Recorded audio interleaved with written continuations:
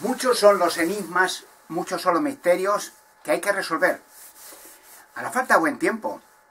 Pero mm, resolver misterios eh, ha de ser para todos. No para personas privadas, amigos, compañeros o para, o para curiosos. Eso no resuelve nada. Ha de ser para todos.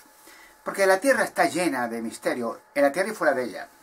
En la Luna, en Marte, muchas construcciones antiguas, jeroglíficos sin entender, eh, acciones insólitas, la tierra que se agrieta por todas partes, los volcanes que se abren en todo el mundo, ciclos y pictogramas que aparecen en todos los sembrados de toda la tierra, hoyos que aparecen en toda la tierra, de, repente aparecen varios hoyos inmensos. Bueno, hay muchas cosas, las pirámides, los muertes de la isla Pascua, la calavera de cristal, pero infinidad de misterios. Bueno, ¿y esto qué es? Porque son cosas sobrenaturales. Aparte de descubrimiento del arca, de la alianza en España, descubierta por mí, la sacaremos, tranquilo. Y la cueva de Hércules, la mesa de Salomón y el robot de la cueva. Gigante dentro de rocas, saurio dentro de rocas, las mujeres de los gigantes, mujeres transferidas del futuro al pasado, los padres de los gigantes, cuerpos de demonios, el cuerpo de Lucifer en la India. Bueno, y, y muchos, muchos, muchos, muchos misterios la línea de Nazca. Bueno, podríamos estar horas, pero no se ha resuelto ninguno. Yo lo resolveré con la ayuda de Dios. Bueno, el por qué se han de resolver y por qué yo. Podría ser cualquiera. No es mi propia fuerza, sino la fuerza de Dios. Podría ser cualquiera. No soy yo más que otro, uno más. Pero sea yo, podría ser otro y decir, ¿por qué ese otro? Podría ser otro cualquiera. Un ser humano. Siempre en la antigüedad Dios empleó a seres humanos imperfectos, sean reyes en Israel, sean profetas, apóstoles de Jesucristo. Bueno, eran imperfectos, pero eran escogidos porque eran personas que iban a cumplir una misión honradamente. Hoy en día resolver enigmas y misterios es mi función.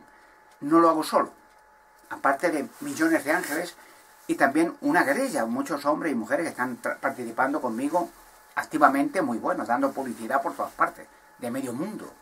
Pancarta, grafitis, postes. Pero claro, hay enemigos también, es lógico. En un mundo donde gobiernan los demonios, es, es, es lógico que, igual que Cristo y sus apóstoles subieron persecución, los siervos de Dios también. En un mundo somos, digamos, extranjeros. En un mundo donde eh, no somos, como dice Jesucristo, que sus seguidores no serían parte de este mundo. Como extranjeros. Cuando llega un extranjero a una ciudad, a un país, eh, que llegue por las buenas o por las malas, o de necesidad, no es bienvenido generalmente por la población. Siempre, generalmente, se ha odiado a los extranjeros. Pero es así la vida. Entonces, una persona que haga o que quiera intentar hacer lo que es correcto, la voluntad de Dios o la verdad, no es bienvenido, porque en un mundo donde gobierna el rey, el príncipe, el, Lucifer, el padre de la mentira, es muy difícil que uno que intente sacar la verdad le sea accesible a los medios a cualquier sitio. Fíjese que muchos medios, por ejemplo, no todos, claro, pero muchos medios televisivos viven de eh, personas que les dejan, dan acceso a esos medios que son ocultistas, peritistas de la carta del tarot, la magia, el vudú, etcétera, etcétera muchos, incluso muchos miembros prominentes, tanto de reyes como de, clérigos, de medios de comunicación, son miembros activos en logias eh, ocultistas, en gente de, espiritistas, todo tiene un medio espiritista, de consejero. Reyes o no reyes, o políticos, o banqueros. Luego, es un campo peligroso lleno de minas. Pero pasamos con el peligro con la ayuda de ángeles. ¿Y por qué he dicho todo esto? Por la revelación de enigmas y misterios. Uno de los misterios que revelaré es los círculos y pictogramas. Círculos y pictogramas en los sembrados de trigo, colza y cebada del mundo entero. Claro, no son círculos normales. Que un círculo...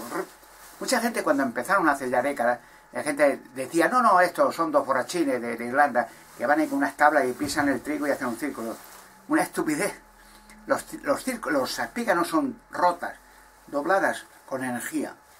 Y aparte no es un círculo, a veces son formas geométricas, cuadradas, rectangulares, formas geométricas diferentes, fantásticas, cada una original. Y a veces ocupa una hectárea de varios cientos de metros de trigo, o colza, o cebada. Y todas son igual. Y curiosamente, en Alemania hace años se hizo una investigación en el centro de los círculos, el trigo que hay en el centro, de coger ese trigo, lo pulieron, y en microscopio, unos rayos, eh, para ver eh, qué, qué materia tenía esos trigos que habían sido modificados. Y algo sorprendente, salían restos como si fuera sangre humana. Una pista. Entonces, eh, ¿qué son esos círculos? ¿Qué relación tienen con, con el mundo, con el fin del sistema? Mucha, mucha. En su momento revelaré con todo lo demás, cuando empiece la cuenta atrás, qué son esos círculos de quién los produce, desde dónde y por qué. ¿A quién están haciendo llamamiento? Fíjese una cosa. Solamente personas escogidas por Dios pueden revelar cosas. Esas personas revelando cosas luego han, llegado a ser los segundos en potencias mundiales. Segundos. Piense, por ejemplo, un revelador de misterios era Josué, eh, perdón, José, hijo de, de Jacob, el, vamos, el patriarca de Israel.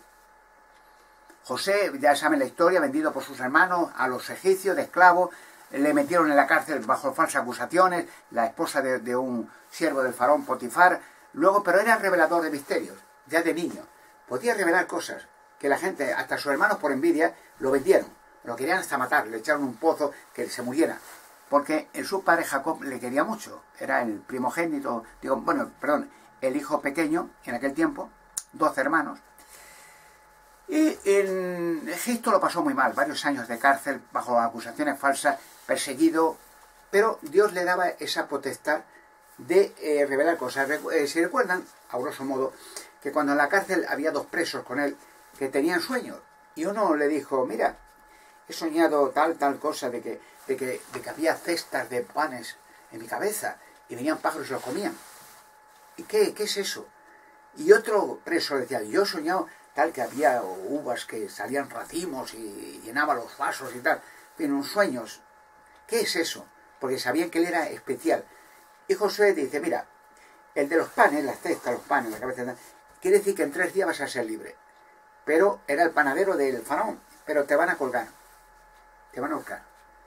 Y al otro dijo, tú también igual en unos días vas a ser libre y vas a llegar a ser, que era el copero del faraón, a ser el copero, en tu puesto anterior. Ah, estupendo. Y así sucedió. Pero le dijo al copero, pero si cuando llegues a ser copero de Faraón, acuérdate de decirle al Faraón, acuérdate de mí. Ah, sí, sí, tal. Bueno, pero pasó el tiempo y no se acordó de él. Pero mm, pasó, fíjate, un par de años, creo. Y entonces una noche el faraón tenía un sueño. Y el sueño era insólito. El faraón le decía, he soñado. Y le decía, entonces ellos se aconsejaban, como hoy, con videntes, espiritistas, medium, brujo, parapsicólogos. En aquel tiempo en Egipto, como todo el mundo. Hoy lo hace todo el mundo. Y entonces le decía, he soñado que había eh, siete vacas, eh, siete espigas muy gordas, salían del Nilo, y luego venían otras espigas muy flacas y se comían las gordas. Las mataban y se las comían. Y luego, de, extraño, y yo luego he soñado que había siete vacas gordas, inmensamente, pero había otras siete vacas muy delgadas y se comían a las gordas. Decía, bueno, ¿esto qué significa? Si alguno me lo revela, le daré dinero, poder y tal. Y, decían los, los brujos, aquellos espiritistas, no sabemos. Es difícil, ¿esto qué quiere decir? No lo sabemos ninguno. Y entonces se acordó el panadero, dijo, mira, yo conozco a un, a un hombre que estaba en la cárcel, que era un judío, un hebreo. Dice, y él te revelaba sueños y cosas. A mí me reveló que yo iba a ser entre tu, tu copero y así fue. Ah, pues llámale, ¿cómo se llama? José y le mandó a llamar, se arregló, de, le sacaron de la cárcel, que por cierto, Dios le hizo jefe de, los de los carceleros también, allí. O sea, no estaba en una celda, era carcelero, eh, era su, el cuidado de los presos, le puso el, jefe de los carceleros. Y entonces le llamó, se vistió y dice, mira, he soñado esto, lo de los espigas y tal, y las vacas. Dice, ¿qué, ¿qué significa? Tú sabes esto, ¿no? Dice, sí. ¿Qué significa? Dice, mira, significa lo siguiente. En siete años va a haber grande superabundancia de, de grano en Egipto. Ya sabe que Egipto pues es una zona muy bien, más bien desértica y tal, solo hay palmeras, nunca ha habido madera ni árboles. Acordad de los, de los supuestos rodillos para arrastrar millones de piedras de, las pirámides, nunca ha habido árboles. Y dice, bueno, y, dice, y, luego vendrán siete años de escasez, no, habrá, no, va a, no va a crecer nada. Y dice, entonces, eso es el sueño. Dice, ¿saben bien? Dice, muy interesante. Dice, ¿y, qué tengo que hacer? Dice, bueno, yo le voy a aconsejar una cosa. Dice José, mire, estos siete años de abundancia, coja graneros, llene todo lo que sobre, llene, reserve comida, de trigo, maíz o cebada, lo que fuera.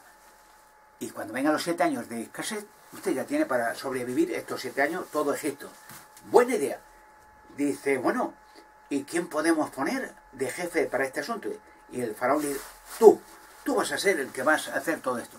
Y efectivamente, le puso de jefe, eh, dice, tú vas a ser el segundo en todo Egipto. O sea, después del faraón, tú. Y efectivamente, ya sabéis la historia, pasó así, y pudo traer a su padre, Jacob, a sus hermanos, la historia es muy interesante, dramática, y le, dio la mejor tierra en Egipto, y allí empezaron los hebreos. De allí ya sabe la historia, Moisés, 400 años después lo salvó con la ayuda de Dios hacia la tierra prometida. Eh, otro personaje, Daniel, en las Sagradas Escrituras también era revelador de misterios.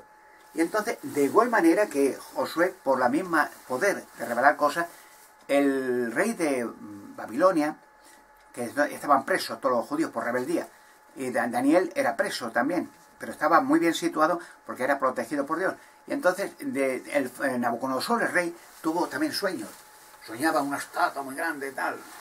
Dice que tenía el cuerpo de, de, metal, de oro, de piedra, los, barros, los pies últimamente de, barro y, hierro y tal. Y, dice, y, no, y le decía lo mismo que en Egipto, miles de años antes. Dice, bueno, ¿esto qué significa?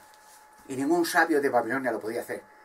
Y dice, Daniel, Daniel, ese, ese, ese hombre sabe. Y le llamó a Daniel, la misma, dice, ¿esto qué es? dice, bueno, esto significa el paso de las potencias mundiales. Dice, tú eres la cabeza, un impulsor de oro y tal.